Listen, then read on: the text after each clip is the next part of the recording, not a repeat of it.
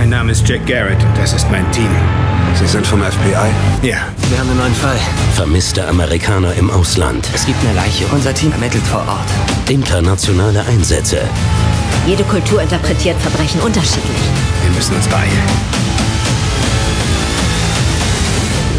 Criminal Minds Beyond Borders. Auf 13th Street.